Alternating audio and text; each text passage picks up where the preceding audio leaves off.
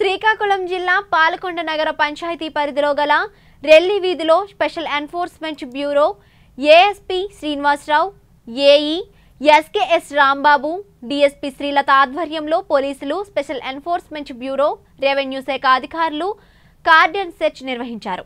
ఈ సందర్భంగా డిఎస్పీ శ్రీలత మాట్లాడుతూ పోలీస్ శాఖకి ఉన్న సమాచారం మేరకు రెల్లి వీధిలో నాటిసారా విక్రయాలు జరుగుతున్నట్టు తెలుసుకొని ఈ రోజు ఈ కార్యక్రమాన్ని నిర్వహించినట్టు ఆమె తెలిపారు.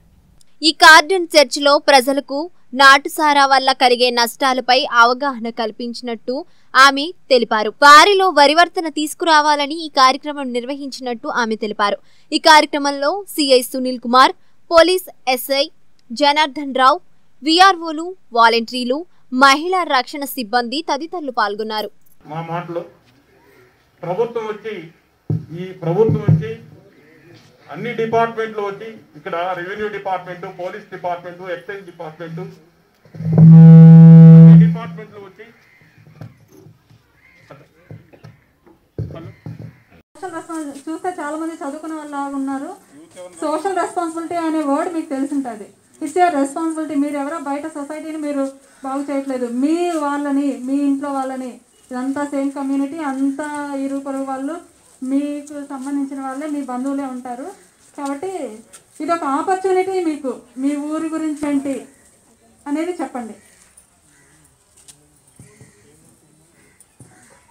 చెప్పండి అమ్మా మీరు.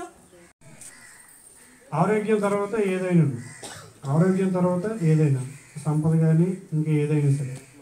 ఈ సారా అనేది ముఖ్యంగా ఏంటంటే ఆరోగ్యాన్ని దెబ్బతీస్తుందనే విషయాన్ని మనకి మన ఆఫీసర్స్ డిఎస్పి గారు మన పాలకొండ డిఎస్పి గారు మన శ్రీకాకుళం నుంచి డిఎస్పి గారు కూడా వచ్చి మీకు ఎంతటి మంచి విషయాన్ని మీకు చక్కగా ఇంత వివరంగా చెప్పి ఇది మీరు బాగా మీ మనసులో ఆలోచించుకొని సరైన జీవి జీవితాన్ని ఎంచుకొని మంచి మార్గాన్ని ఎంచుకుంటారనే ఉద్దేశంతో ఈ మీటింగ్ ఉద్దేశం.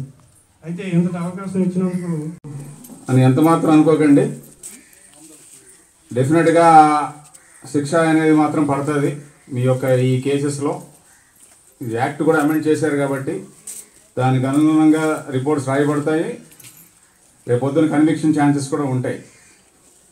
సో అది సాదా సీదాగా ఇంకా చేస్తూనే ఉంటాము ఇంకా మేము కొల్లబెడతాము ఇంకా ఆరోగ్యాలు పాడు చేసుకుంటాము ఓవరాల్గా వాళ్ళ కుటుంబాన్ని కూడా చిన్న వెచ్చానం చేసుకుంటే మీకే నష్టం అది.